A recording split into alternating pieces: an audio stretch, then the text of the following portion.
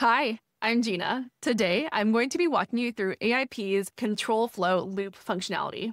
What this allows you to do is take a list, and then for every element of the list, you're able to, say, transform it or apply ontology edits.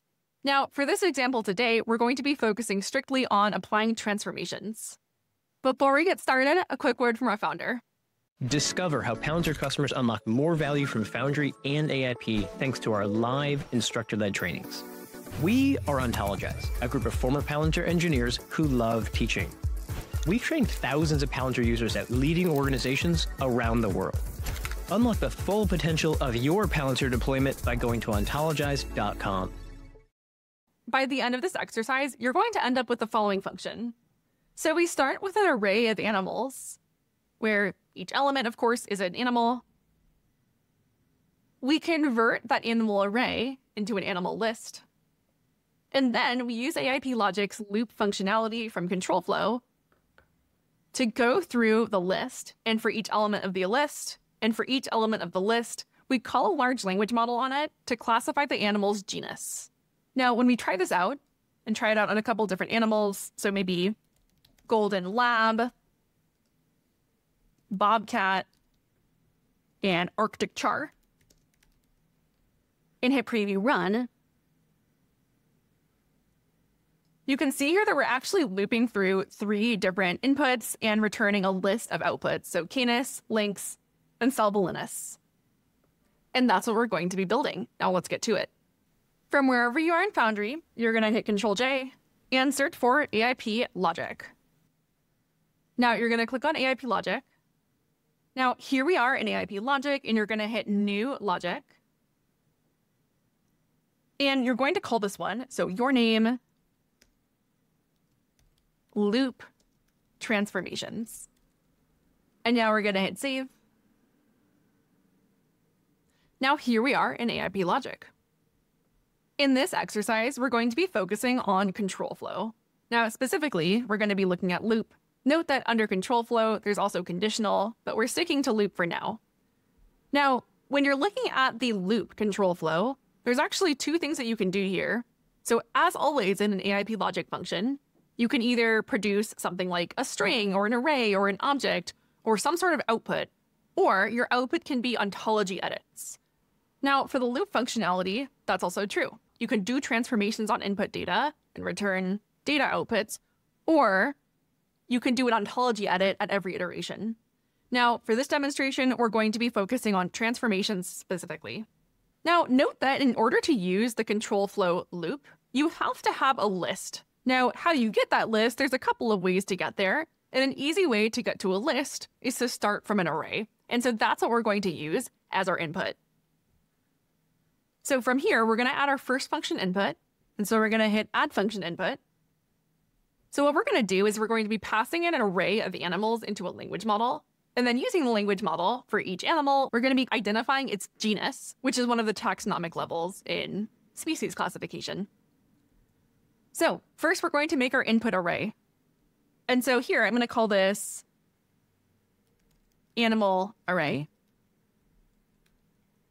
And the type is not going to be a string, but an array of strings.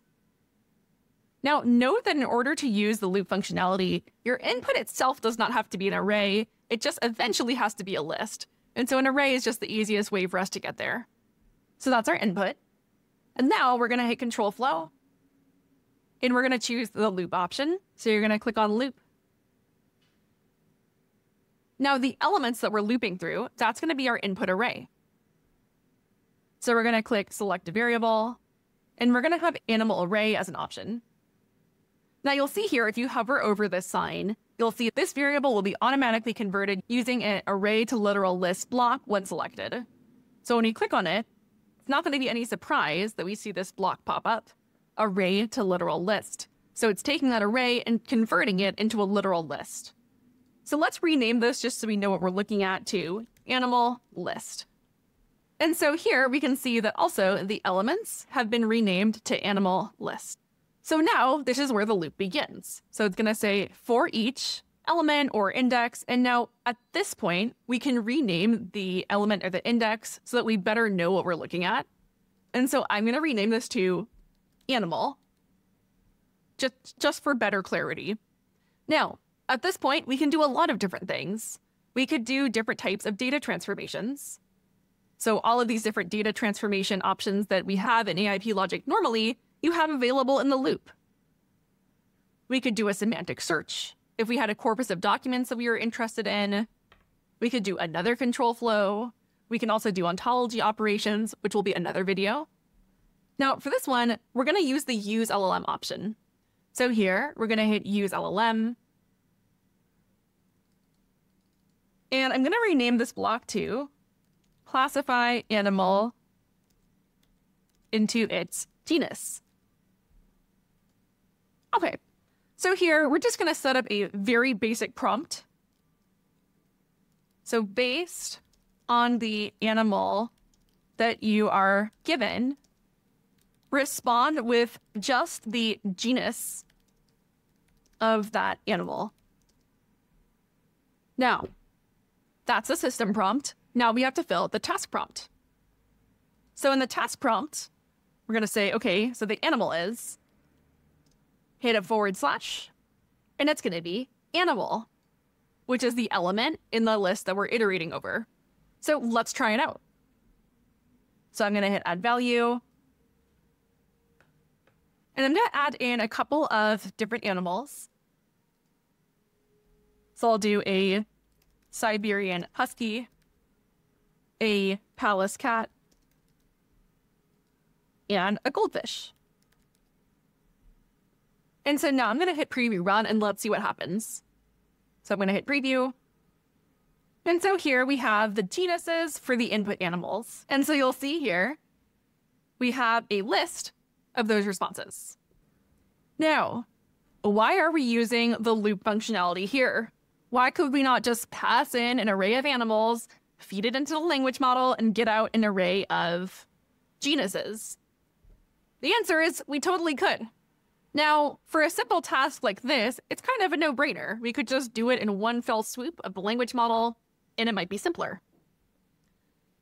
However, as the tasks get more complicated and the list grows much larger, we might start to see degraded or inconsistent performance, and that's why looping is going to really help us out here. The other thing that looping does is that a large language model can handle an array just fine, but many operations are only designed to handle one value at a time, and so that gives us a lot more freedom and flexibility over our transformations. Now, before you finish, don't forget to save and publish. Select an ontology, and then hit publish. And now you're ready to go ahead and use this function in applications like Workshop. Thanks for watching. We hope you found this helpful. Let us know what you want to see next in the comments.